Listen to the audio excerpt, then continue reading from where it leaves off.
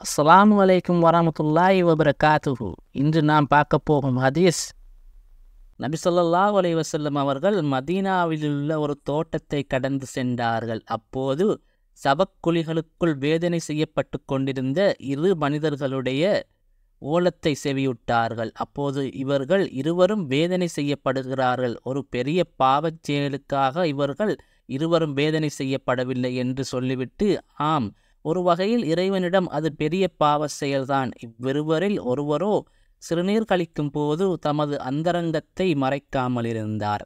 மற்றொருவரோ கோல் சொல்லித் திரிந்து கொண்டிருந்தார் என்று கூறிவிட்டு ஒரு பச்சை பேரிச்ச மட்டையை கொண்டு வரச் சொல்லி அதை இரண்டாக பிளந்து ஒவ்வொரு சவக்குழியின் மீதும் ஒரு துண்டை வைத்தார்கள். அது பற்றி நபி ஸல்லல்லாஹு அலைவசல்லம் அவர்களிடம் நீங்கள் ஏன் இவ்வாறு செய்தீர்கள் என்று கேட்கப்பட்டது. அதற்கு நபி ஸல்லல்லாஹு செல்லும் வஸல்லம் அவர்கள் இவ்விரு மட்டைகளும் காயாத வரை இவ்விருவரின் வேதனை குறைக்கப்படலாம் என்று பதிலளித்தார்கள். அறிவிப்பவர் இப்னு அப்பாஸ் அலி நூல் புகாரி.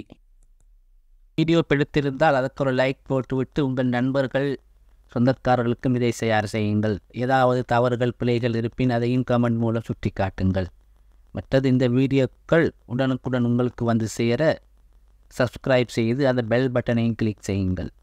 நன்றி. கிசாக்குமுல்லாஹாய்